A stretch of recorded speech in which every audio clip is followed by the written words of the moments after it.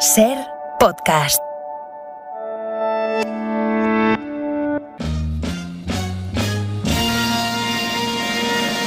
Cada miércoles tenemos una cita con un señor que ama el cine. Una historia de amor mm, muy bonita y que no, no voy a contar qué, qué final tiene. Que dice lo que piensa para bien Me parece uno de los mejores actores del mundo. o para mal. Me olía que era una majadería, pero confirmado. Alguien que se define con una sola palabra Es eh, uf, tremendo. y que a esta hora abre la ventana del cine. no la abras, no la abras. Y la sea, abre. Carlos Bollero.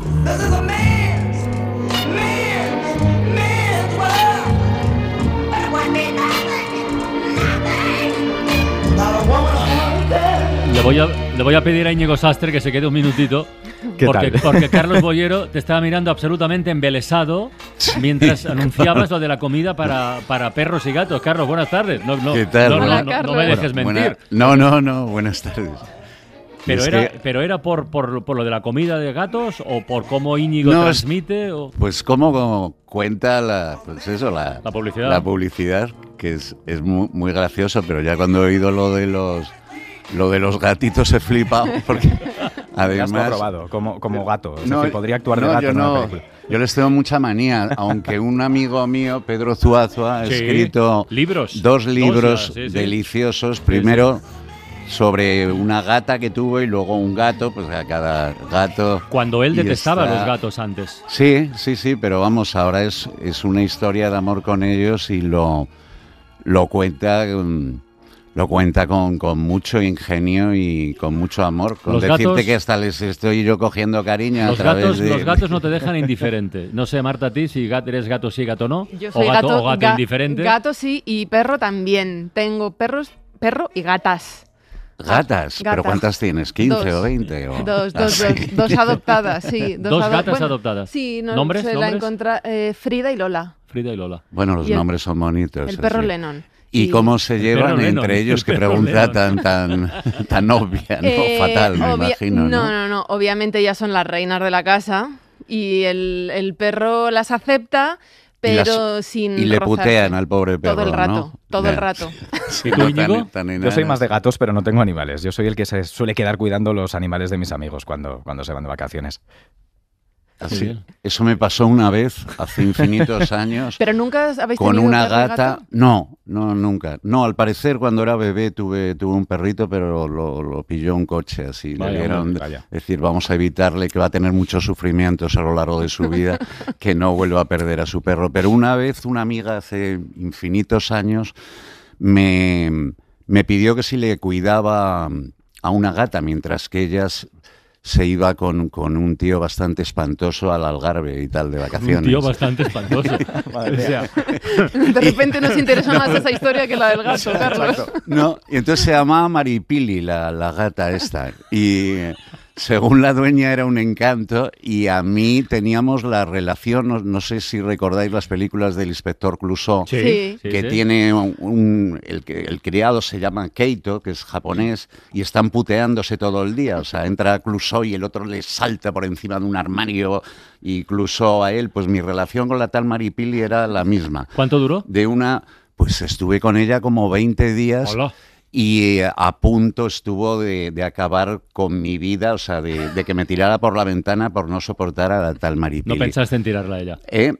Eh, sí, pero, Pero no, no. que no es Vale, vale, vale, políticamente no, no, eh, correcto. no, pero bueno, oye. Alguna vez la perseguí, Oye, oye. un poco embriagado, pero era más rápida que yo y, y a cambio me destrozó los sofás, los libros, eh, discos, o sea, es que tenía, tenía una mala hostia la tal Maripili, o sea, y cuando volvió la dueña me, dijo, se nota, se nota que habéis tenido muy buen rollo, y dije, no te lo puedes imaginar, o sea, y ahí se acabó mi, mi experiencia gatuna. ¿Y el tipo horroroso? ¿Eh?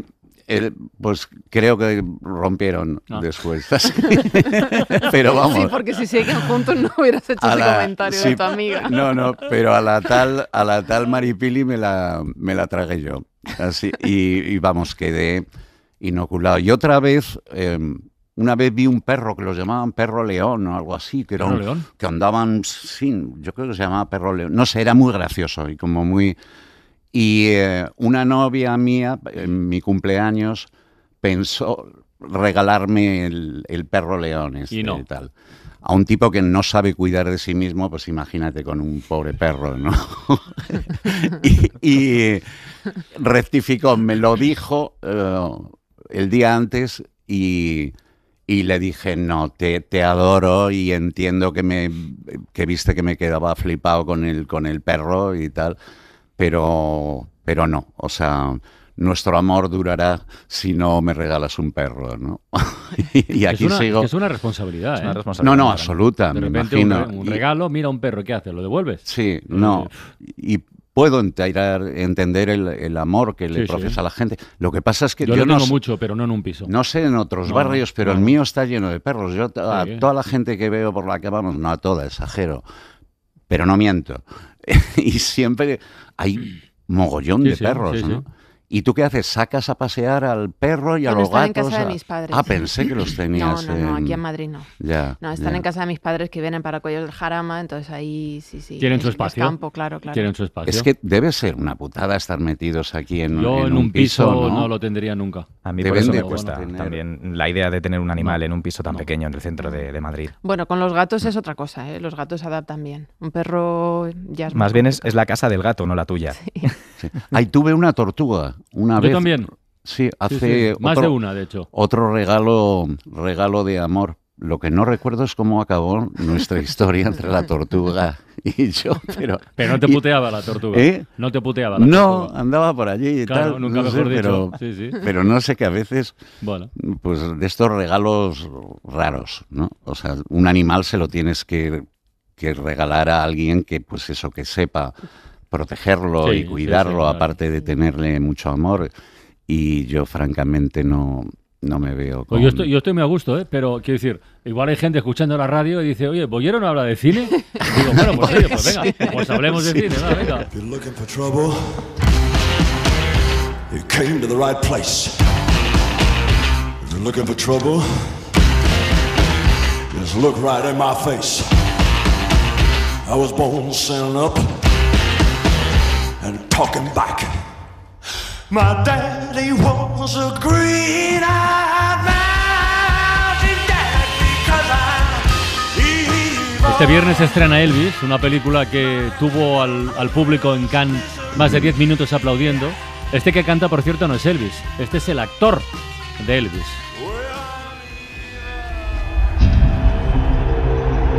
Our country itself is sick.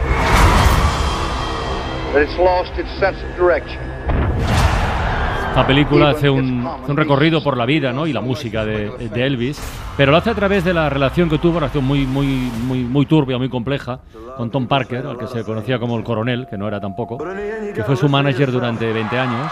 Our country itself is sick. That it's lost its sense of direction. Even its common decency. Siempre y cuando no mueva ni un dedo.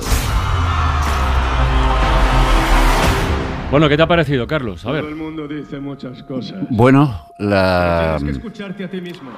la veo, la veo, dura como tres horas menos cuarto, qué manía con que todas las películas Ya. sean larguísimas, ¿no? Menos la de Jonas Trueba. Y sí, esa dura, dura una hora, ¿no? Sí, sí. Y em, no me cuenta cosas nuevas sobre, sobre Elvis. Yo había, he visto, hay, hay un documental, yo creo, no sé si está en, en HBO, que está muy bien y tal. Es eh, vistosa, el- este, el director, el Val Lindman, este, que, que dirigió una estupidez que en aquella época le encantó a los modernos, así que se llama Moulin, Moulin Rouge. Rouge, sí, a mí- Sí. a mí no me gustó mucho. Pero sí. es, sí, a ti sí. Sí, yo lo disfruté. Pero es eh, como muy eh, desbocada visualmente y que cometió sí, la sí, sí. profanación de adaptar una de mis novelas favoritas, que es El Gran Gatsby, así, una con Leonardo DiCaprio. ¿No la visteis? o? No me suena.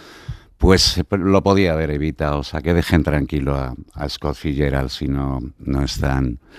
Y, y aquí, pues, mm, me parece como uno más. Esto es un género también. Sí, eh, sí, sí. lo de los- moda, además. de moda, sí, los, los cantantes normalmente tienen vidas muy turbulentas, pero siempre tratan de redimirlos, ¿no? O sea, de buscar, entre comillas, un final feliz, aunque se mueran. Era el caso de Freddie Mercury, en, ¿no? Y, y aquí con Elvis es que el, el final de, de las estrellas casi siempre ha sido trágico, ¿no? Elvis La Palma los con 42 Sí, años, sí, sí.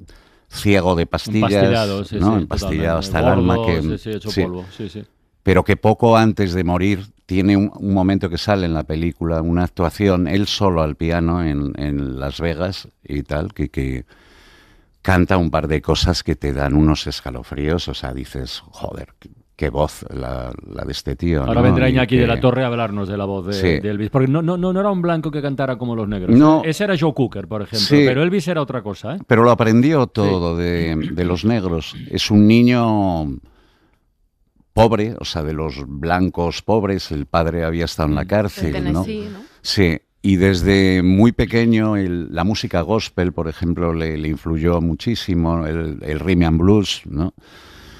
Y eh, aparece en un escenario y empieza a mover la pelvis y aquello enloquece y humedece a la mayoría de las mujeres. O sea, es- era absolutamente sexual y magnético, ¿no? En- y causa el, el gran escándalo. Eso está contado en la película, ¿no? La, la gente conservadora dice, pero ¿cómo? ¿Qué hace?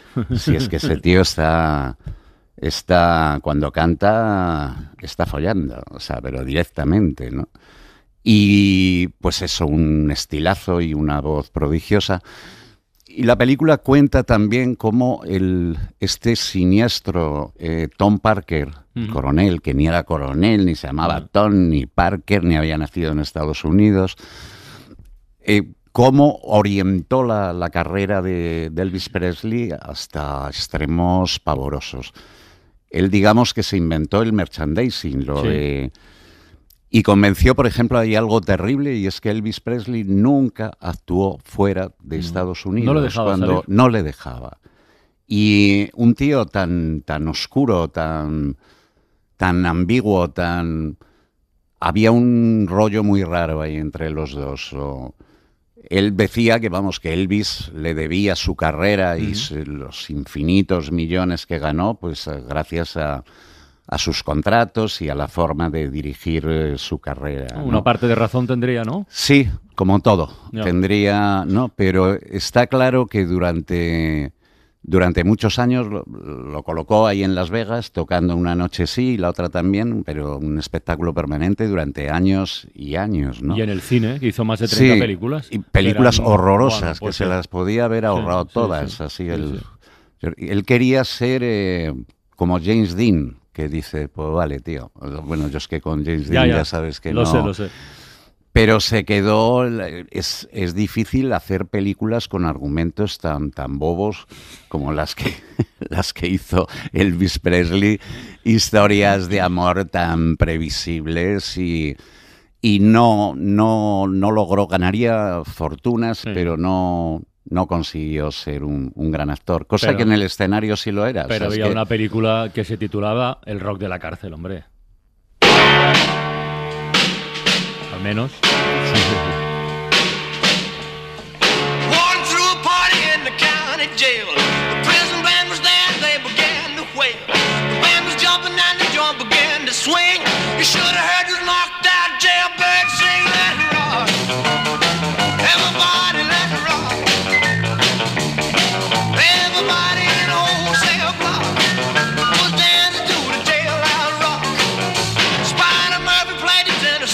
Entonces la peli, quedamos en que se puede ver.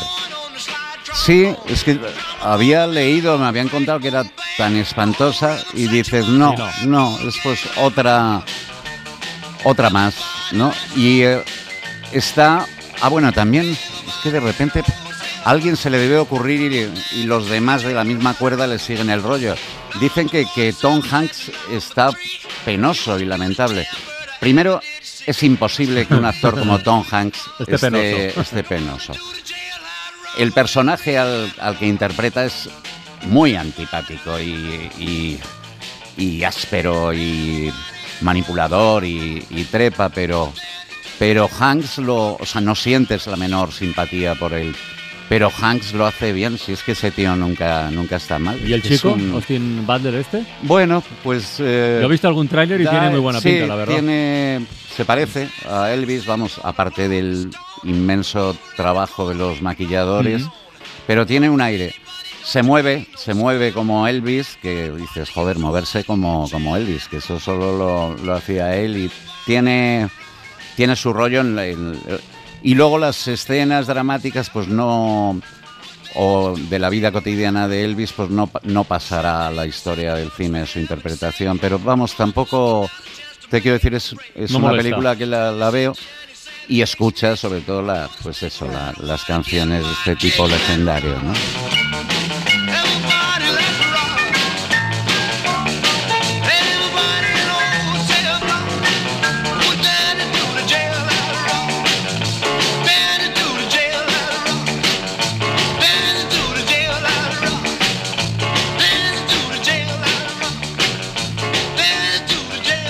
Oye, Carlos, que antes has dicho, y es verdad, ¿eh? que esto se ha convertido últimamente en una especie de género, porque hay eh, personajes del mundo de la música, algunos vivos todavía, ¿eh? de los que se han hecho películas, que no están mal. Está el Rocketman de Elton John, por ejemplo.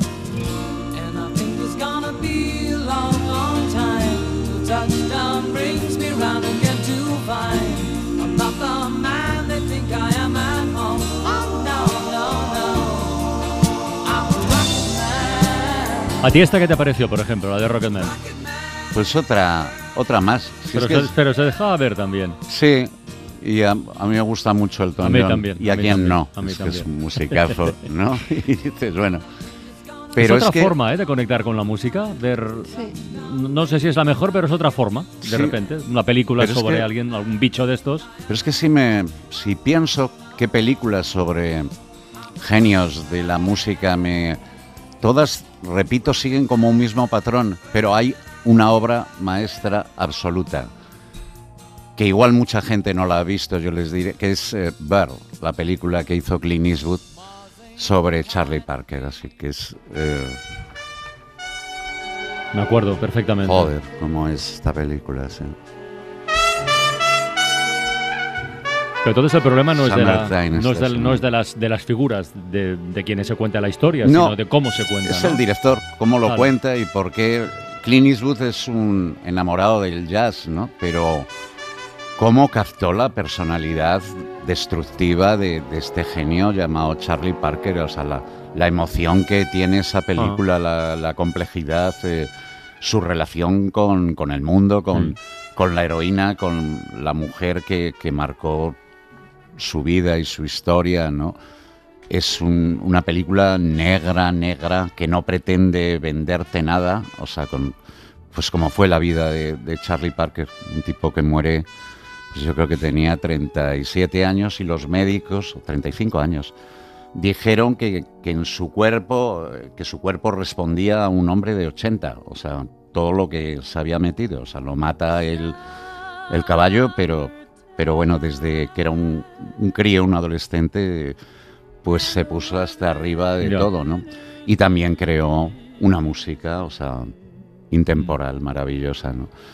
Pero todas las demás, y estoy pensando, pues, el- la biografía de Ray Charles. Esa está muy bien. A mí esa Mm. me gustó mucho, sobre todo por el, por el actor.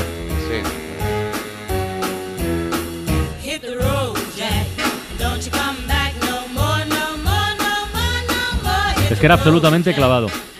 Sí, estaba. bueno, ¿eh? Sí.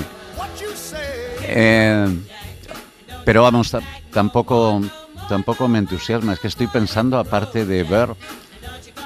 ¿Y la de Ay. Bohemian Rhapsody? ¿No te Eh, gustó? no, yo es que con Freddie Mercury ya sé que, que esto no, no es una opinión compartida. Sé que Freddie Mercury, pues para la mayoría de la gente era un cantante genial y una personalidad de la que te enamorabas. Yo no, a mí me, este tipo no me caía bien, así, me parecía, era, no sé, llevaba como una pose encima permanente y luego que su voz era prodigiosa, Claro. por supuesto, ¿no? Pero yo no era de, de Queen y de mis gustos melómanos aquí después de tantos años están, Sí, sí. están claros. Bastante pues, claros. Pues Queen no, no, vamos, no, no es de, de mis grupos ¿Y la peli qué te pareció? La película, Bohemian Rhapsody. Bueno, bueno, está es mal que- tampoco, Sí, no pero está es que él eh, me carga. El, el actor probablemente ya. está muy Rami bien. Malek, sí, sí, está muy bien, Sí, muy bien. Pero era, sí, pero era como un profesional del numerito, siempre tan intenso y tan con tanta pose y tan teatral, tan operístico y tan y bueno, sé que la gente considerará que esto es una herejía. No, hombre, no, ¿por qué? pero- no sé, pero que, que me, me caía mal Freddie Mercury. ¿Puedo? No, pero sí que es verdad lo que dice Carlos, que es una forma de acercarte a lo mejor Claro. a un personaje que no tienes muy ubicado, digamos, a través del cine, sí que te, Sí. te lo muestra, digamos. Sí, y estoy pensando en más películas sobre músicos. eh, la, la biografía de Johnny Cash. Oh.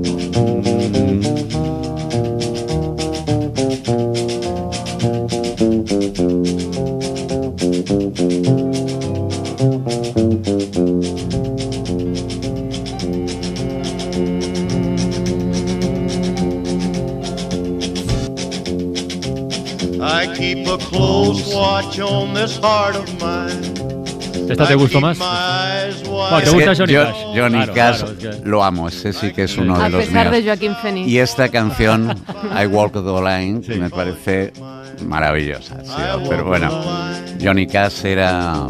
Joder, o sea, esta voz a mí me, me llega, me llega al alma, ¿no? Y cuando cantan ya juntos Dylan y él, que lo han hecho en varias, o sea, dices, bueno, palabras mayores. Suscríbete a La Ventana del Cine. Todos los episodios y contenidos adicionales en la app de Cadena Ser y en nuestros canales de Apple Podcast, Spotify, iBox, Google Podcast y YouTube. Escúchanos en directo en la Ser los miércoles a las 6 de la tarde. Cadena Ser. La radio.